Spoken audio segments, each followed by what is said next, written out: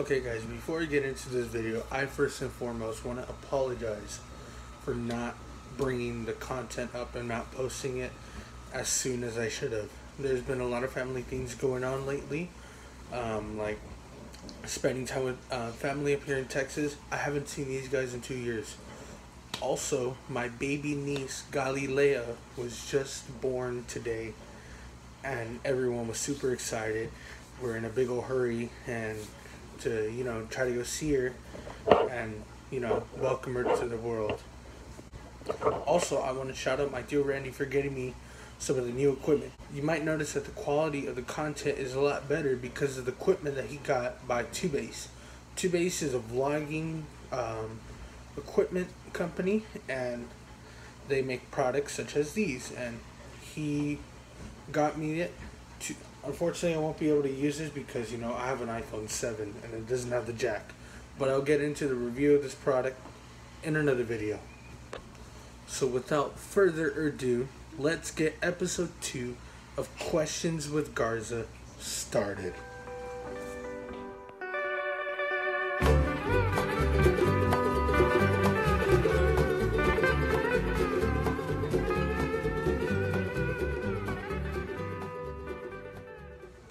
Alright, starting off.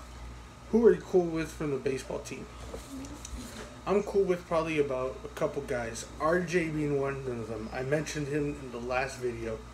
Jeremiah, Dom, Edgar, and I think there's one more. I can't get. Oh no, Alex, and yeah, those are the those are the guys that I'm cool with. Edgar, I've known him since uh, Fremont. Jeremiah, I just met him this year. He was in my math class. RJ and Alex, I met I met them both through uh, through football. And yeah, that's that's how I pretty much knew those guys.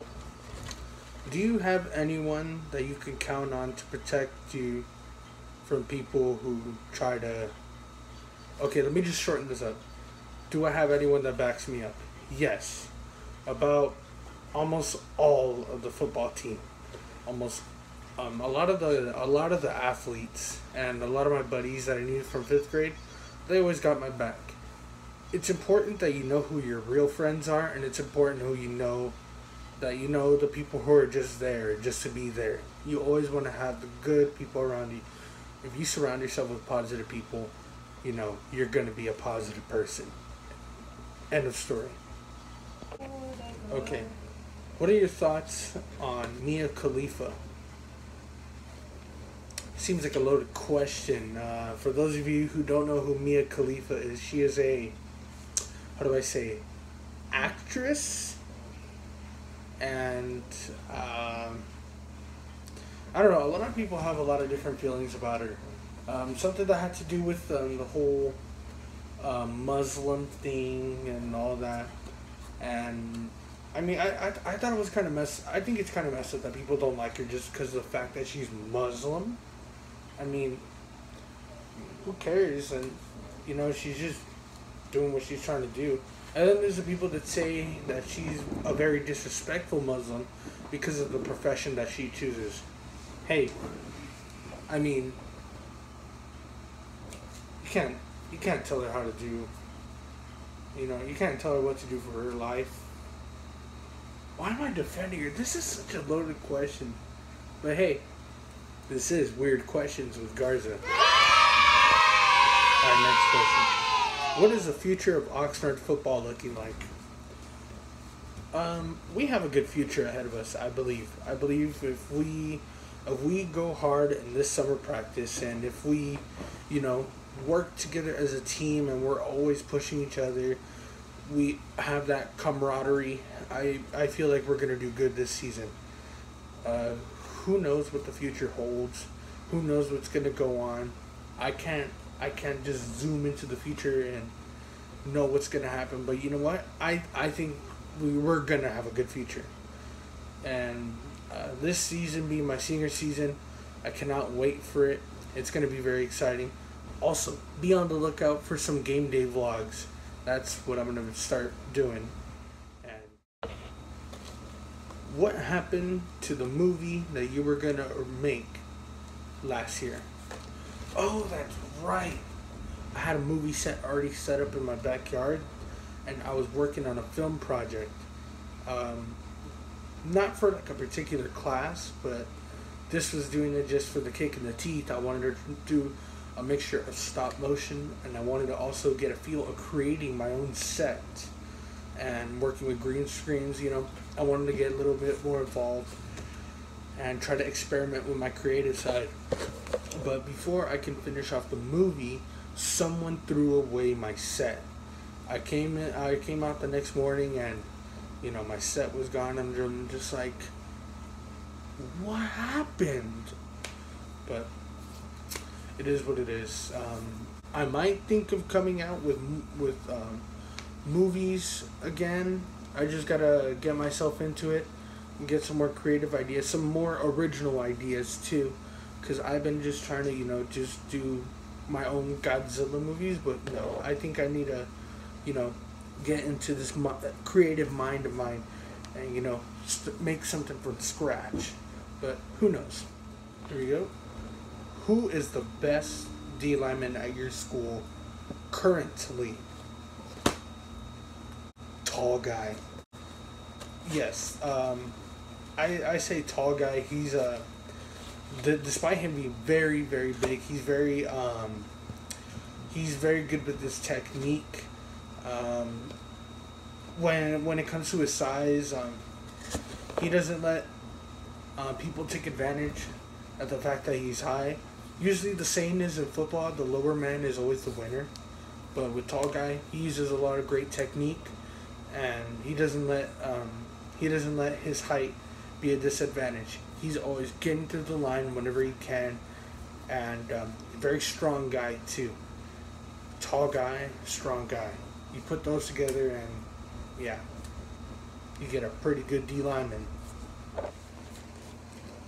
Who is your favorite cousin?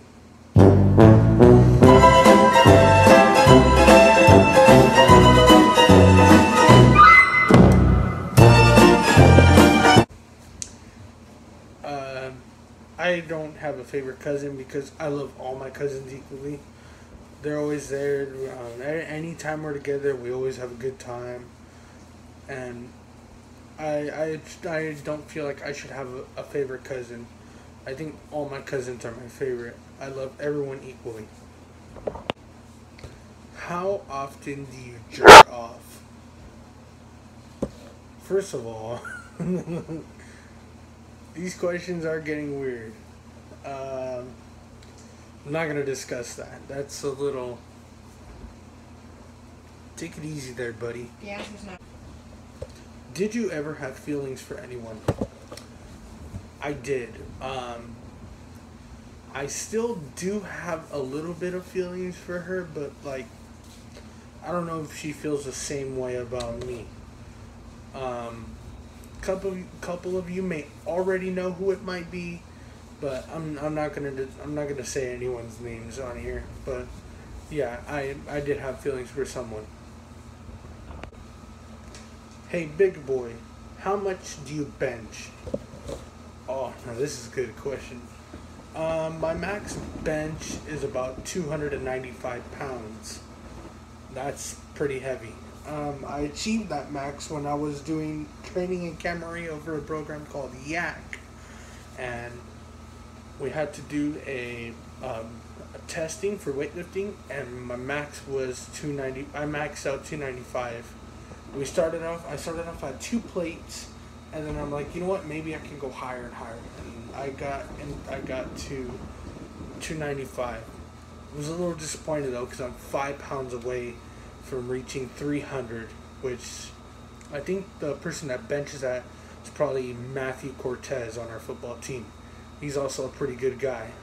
Um, I could say one of the best offensive linemen out there in the class of 2021. And yeah.